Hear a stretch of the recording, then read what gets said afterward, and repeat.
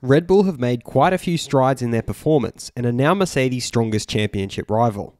This also puts them under a lot of scrutiny, especially with every new upgrade they introduce and their compliance with F1's stringent rules. Mercedes driver Lewis Hamilton pointed out the new wing on the Red Bull car in Spain, and Red Bull team principal Christian Horner has now responded.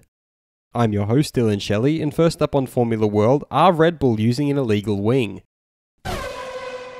Hamilton had pointed out the wing in question and how it has helped Red Bull to improve.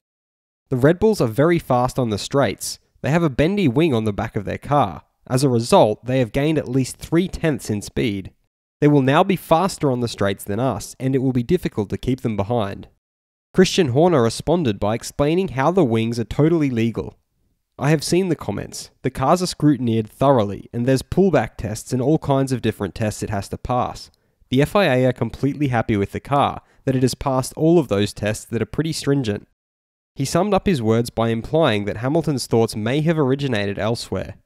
So I was surprised to see his comments on that, but it's something that Toto has mentioned to me previously. I doubt it was Lewis's opinion, so probably came from elsewhere. Fast feed. Ferrari team principal Mattia Binotto thinks that the criticism against them doesn't do honour to the team because it's a team performance. Former driver Sergei Sirotkin feels that development is where Red Bull still has something to learn. Lewis Hamilton never wants to be in the position that they were in in January in February last year with delayed contract negotiations. He further revealed that it ruined his whole winter, and he's sure it wasn't helpful for Toto Wolff's winter either. He further pointed out that they still have 19 races to do, but it would be great to get something in place before the break. This way, they could again be in that break and have a clear picture of the future. FIA race director Michael Masi has confirmed that the Spanish Grand Prix was the first time that they really started broadcasting the radio messages between the teams and race direction. He divulged that it actually came up during a consultation with the F1 committee last year.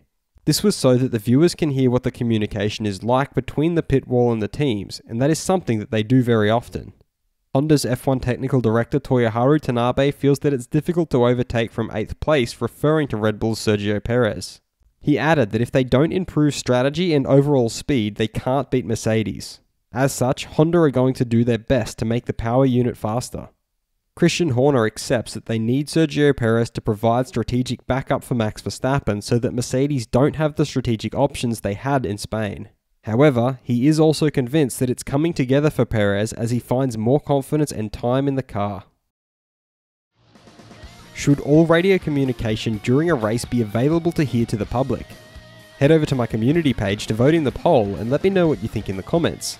And if you liked this video, feel free to subscribe and check out my others for all the latest in the world of Formula 1.